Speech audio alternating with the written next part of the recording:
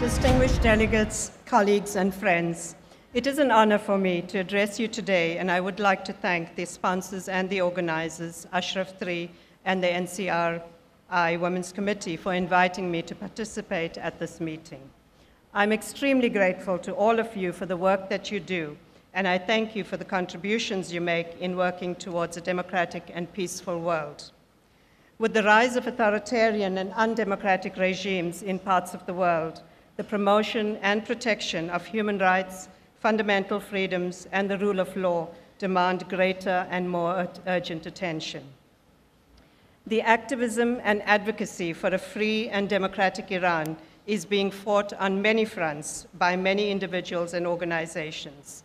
It is humbling to hear about the struggle to escape from all forms of violence and oppression, but also affirming to see how people who have been resettled in Albania continue to strive for a life of dignity.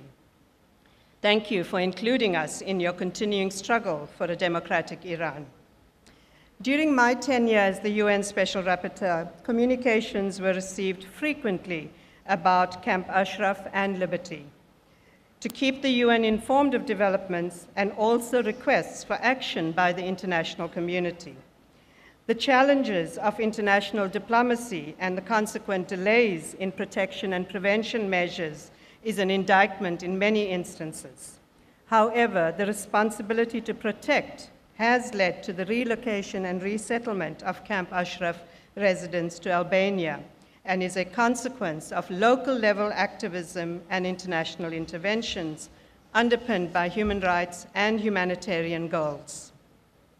It is important to acknowledge that women have been instrumental in the struggle, including in leadership positions.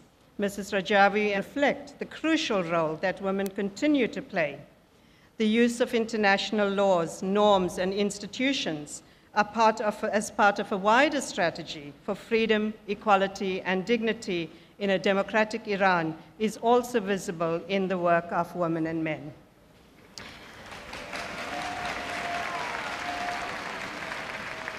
Challenging the use of religion as a justification for curtailing the human rights of women and girls has been an integral part of the work of the larger political struggle of Iranian women in the social justice and liberation movements.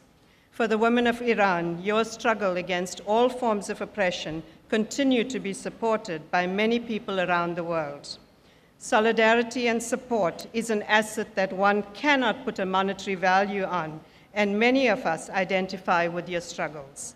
Your experiences of human rights violations resonate and reinforce the need to continue solidarity and support. You are not alone.